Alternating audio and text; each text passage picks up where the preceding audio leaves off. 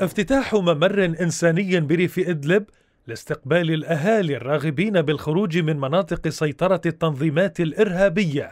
بهذه الكلمات وبإنسانية طافحة عنونت وكالة سانا التابعة لميليشيا أسد مضيفة أنه تم تجهيز طاقم طبي كامل وفرقا ستكون مهمتها تقديم المساعدة للراغبين بالعودة إلى قراهم المحررة من الإرهاب حسب زعمها متناسية أن ميليشيا أسد وآلة قتله هي من كانت سبب عذاباتهم. الناشط الإعلامي أبو آلاء المعراوي أكد بكاميرته عدم وجود أي مظاهر لفتح المعبر. مثل ما كنتم شايفين ما في حدا على الطريق غير أنا.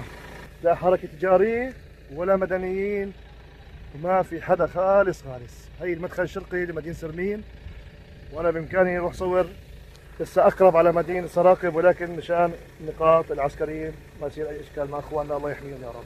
شوفوا لي وين المدنيين وين السيارات حتى دراجة نارية ما في.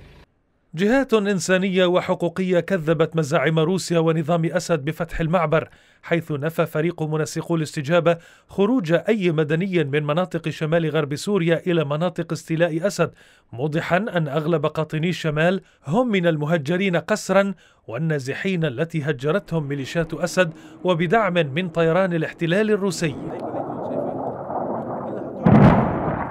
وسائل إعلام تابعة للفصائل نفت أيضا ما تروجه الميليشيات الطائفية عن فتح معبر في سراقب موضحة أن أوضاع الناس في المخيم باتت أفضل من مناطق سيطرة أسد حيث الأزمات الاقتصادية والاجتماعية والانفلات الأمني.